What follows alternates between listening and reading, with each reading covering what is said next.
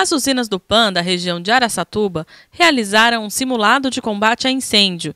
Participaram as usinas Clealco, Diana Bioenergia, Nova Arauco, Raiz Indestivale e Renuca.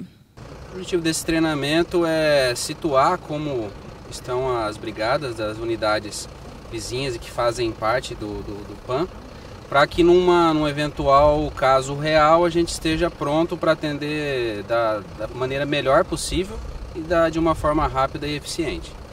E qual que é a periodicidade que são realizados? Esses simulados são, são realizados a cada seis meses, né? E é feita uma prévia programação e a cada seis meses nós fazemos simulados para manter tudo alinhado numa necessidade. E nesse simulado, o que, que vocês levam em consideração?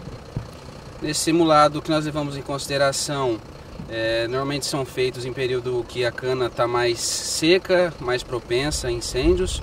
E o que nós sempre priorizamos é um local que ofereça segurança para que a gente possa fazer um simulado e que não, um simulado não se torne um caso real de incêndio. A eficiência do PAN já mostrou resultado e as usinas da região de Araçatuba já foram acionadas no combate a incêndios. O Corpo de Bombeiro, quando necessário na cidade, ele tem acionado o PAN assim, da região, inclusive no calçadão.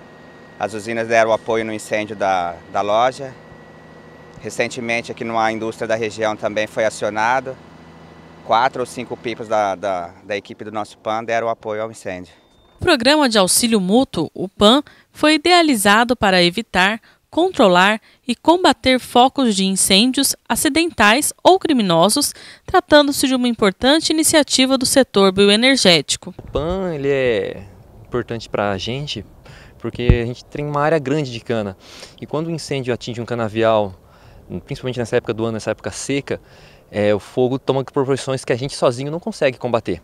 Se a gente não consegue combater sozinho, isso aí pode atingir outros locais, pode atingir outras propriedades, propriedades que não são da raiz, em atingir a comunidade. A importância do PAN é juntar força com as outras usinas para que esse fogo não se, não se propague de uma forma que fuja do nosso controle e atinge bens, atinja propriedades, atinja o capital de outras pessoas.